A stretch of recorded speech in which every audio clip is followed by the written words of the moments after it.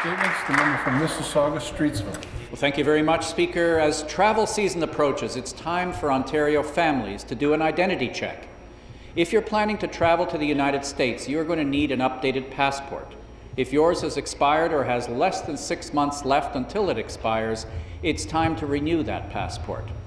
Whether you travel in the United States or within Canada outside Ontario, ensure that you have supplementary health coverage for everyone traveling. Seniors need a special identity check, and their families have an important role to play. Ensure every senior has an updated Ontario health card. Within a year, the old, obsolete red and white card will have been phased out.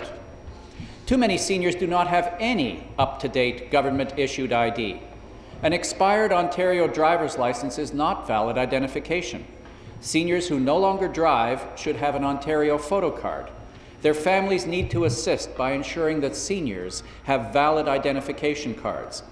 As well, check each senior's and each family member's birth certificate. An old certificate of baptism needs to be upgraded to an official Ontario birth certificate if you were born here. You can do this online or and or by mail. As our precious Ontario warm weather approaches, Speaker, it's time for all Ontarians to do an identity check. Thank you very much.